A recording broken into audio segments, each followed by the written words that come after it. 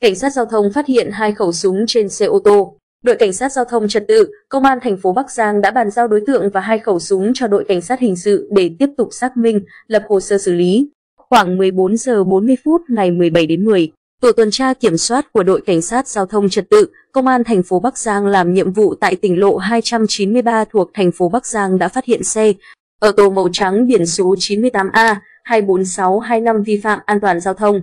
Tổ công tác yêu cầu dừng xe kiểm tra, đồng thời đo nồng độ cồn lái xe có biểu hiện say rượu. Qua kiểm tra lái xe Nguyễn Văn Quân, sinh năm 1988, trú tại xã Tân Dĩnh. Huyện Lạng Giang vi phạm nồng độ cồn mức 0,314mg trên 1 lít khí thở. Cùng ngồi trên xe với Quân còn có hai người là Nguyễn Đức V, sinh năm 1990 và Đặng Văn L, sinh năm 1983, cùng trú tại xã Tân Dĩnh. Điều đáng nói, lực lượng cảnh sát giao thông còn phát hiện trên xe có hai khẩu súng nén PCP dạng nén hơi bắn đạn trì, một chiếc bơm khí nén cùng 352 viên đạn trì.